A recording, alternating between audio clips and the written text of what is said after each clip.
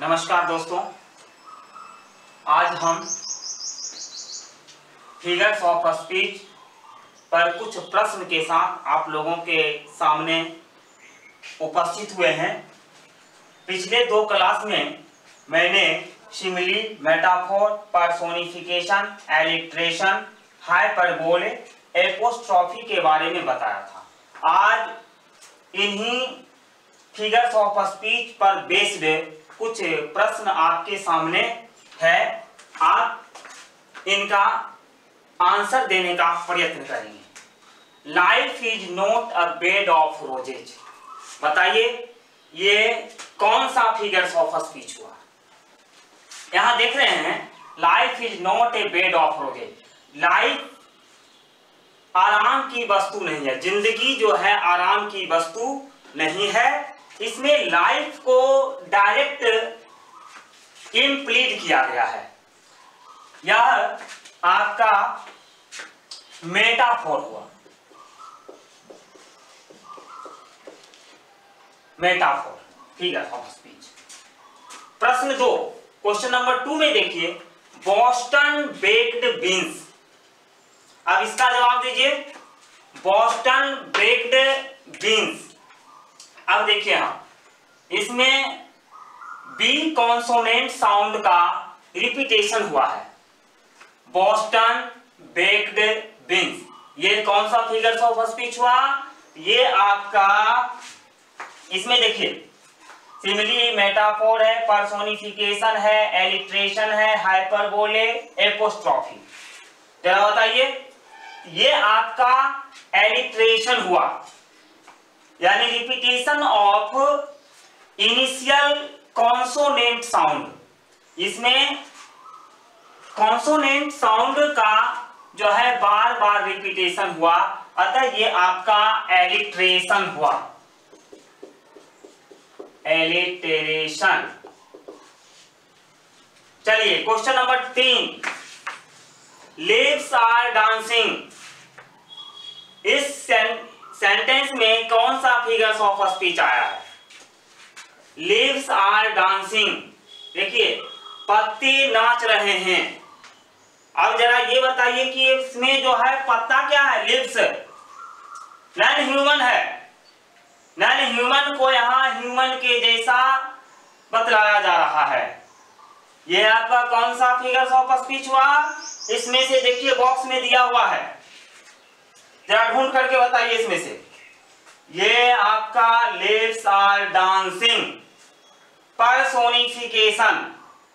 ये आपका परसोनिफिकेशन हो गया। इसमें नन ह्यूमन को ह्यूमन बींग के जैसा दिखलाया जा रहा है। अतः नंबर तीन, ये आपका परसोनिफिकेशन। Figure of speech. हुआ। बहुत अच्छा। चलिए। नेक्स्ट क्वेश्चन में हम चल रहे हैं।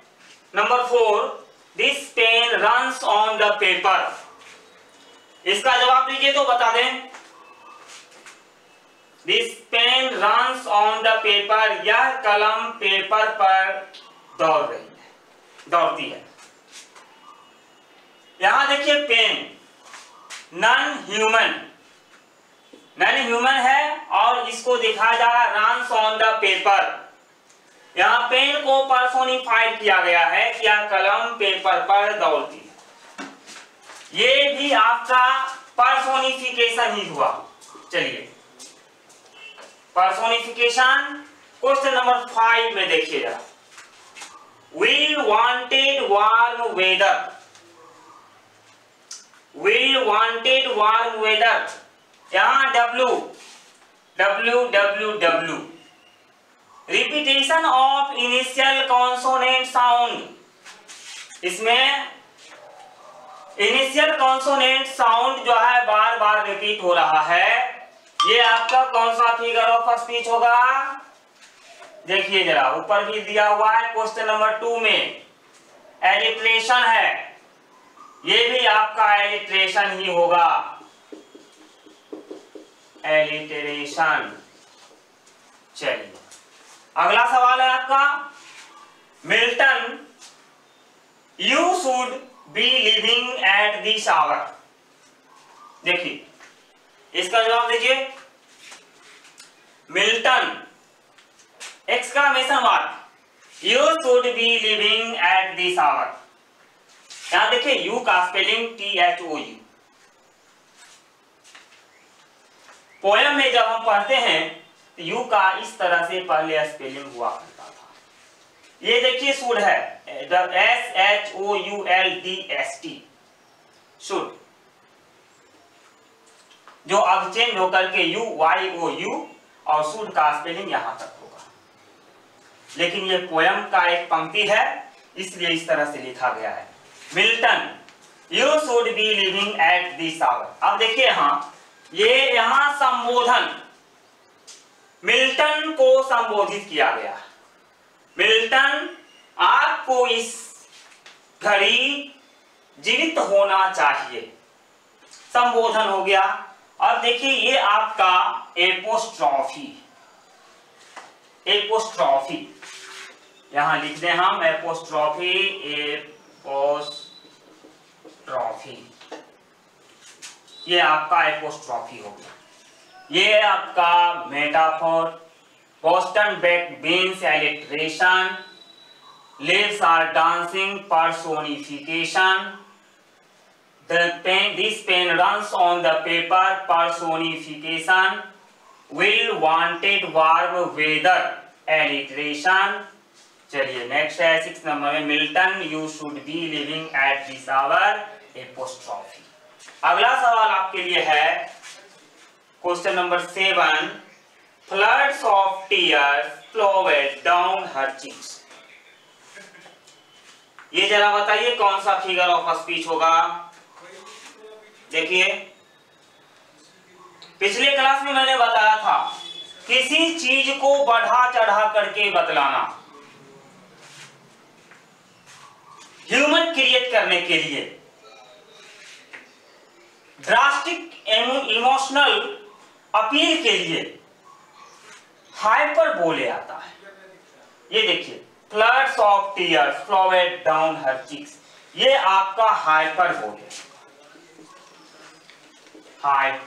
Hyperbole. Figure of speech next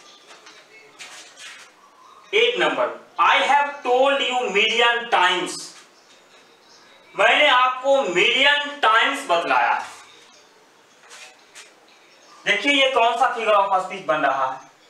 इस सेंटेंस में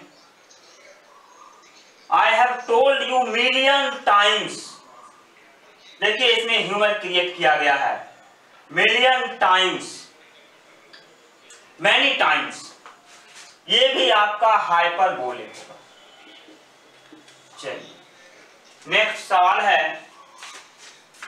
Nine number he built a big boat he built a big boat built big boat B consonant sound का रिपीटेशन हो रहा है। अब देखिए इसमें ये आपका कौन सा फिगर ऑफ़ स्पीच बन रहा है? Alliteration repetition of initial consonant sound ये आपका एलिट्रेशन हो गया। एलिट्रेशन चलिए। लास्ट सा है। She is as beautiful as a rose she is as beautiful as a rose वह रोज के समान, यानी गुलाब के समान सुंदर है। इसमें भी कॉम्पेरिजन आया। लेकिन डायरेक्ट इम्प्लीमेंट इसको नहीं किया गया है। इसमें लाइकनेस को दिखलाया। इसमें कॉमन जो है सी एंड रोज में कॉमन आपका ये ब्यूटीफुल आ रहा है। और as beautiful as a rose इसका आंसर दीजिए। एक बॉक्स में लिखा हुआ है। जरा ढूंढ करके बताइए कौन सा फिगर ऑफ़ स्पीच इसमें आ रहा है। ये आपका सिमिली है। इसको हम सिमिली कहेंगे। सिमिली। बहुत अच्छा। आप सबने इसका सही सही जवाब दिया है। इसके लिए धन्यवाद। नेक्स्ट अगले क्लास में फिर देखते हैं। और हमको लग, नहीं लगता है कि ये जो है इससे ज़्यादा आप लोगों को ज़रूरत होगी। मुख्य जो था इसमें वो मैंने बता दिया है।